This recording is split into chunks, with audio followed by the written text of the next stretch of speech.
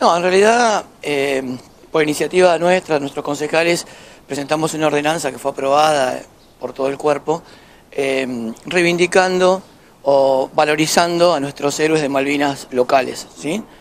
Fueron distinguidos como ciudadanos y me parece que eso está bien, es un, un deber que tiene nuestro pueblo. Y la verdad que me dolió mucho la ausencia de los concejales o de algunos concejales, específicamente dos del oficialismo, eh, Malandra y Santana, y también Arimay, Carlos Pérez y la concejala Antenuzzi. Y me parece que más allá de la falta de decoro y de consideración para nuestros héroes de Malvinas, Igual estaban la mayoría. Sí, no importa que estén o no la mayoría, pero a eso voy específicamente. Los concejales cuando faltan a las sesiones eh, deben pedir licencia, porque esto en un artilugio que solamente supongo ocurre en el Consejo Deliberante de Salto, piden, eh, llaman por teléfono y dice ausencia con aviso. Y eso parece lo mismo, pero no lo es, porque la ausencia con aviso implica que no le descuenten el salario el día de trabajo. Si los concejales piden licencia, lo que tienen que hacer es asumir el concejal que corresponde en, el lista, en la- como sigue la lista, y entonces pide licencia. Entonces, por una cuestión de plata, me parece que si se toma la responsabilidad de ser concejal, a las sesiones por lo menos deben ir o pedir licencia. Nadie está obligado a ir a una sesión porque puede tener un problema personal, o justificar por qué no va.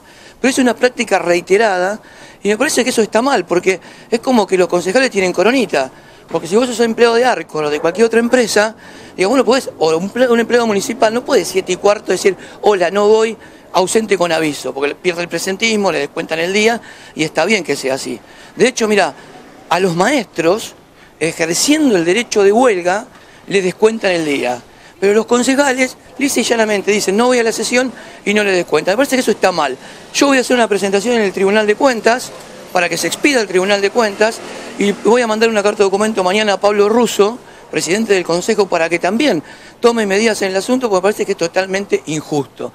Porque me parece que si un pueblo donde los concejales tienen coronita, donde hay un pretendido príncipe heredero para ocupar el sillón de la calle Alvear de Buenos Aires, digamos, cambiemos el nombre y pongamos Principado de Salto. Pero parece que tiene que ser absolutamente justa la ley, digamos, porque si uno se presenta como concejal, sabe que la actividad privada, cuando el consejo requiere una sesión, la tiene que dejar de lado para ir a la actividad pública. Y además, los concejales ganan 20 mil pesos de sueldo. O sea, no es que ojalá mucha gente de Salto quisiera tal vez ganar esa plata y poder tener ese beneficio de no ir a trabajar cuando, cuando, no, cuando dicen que no por cualquier motivo, sino que lo justifiquen como cualquier empleado de Canal 6 o de la municipalidad o de Arcor.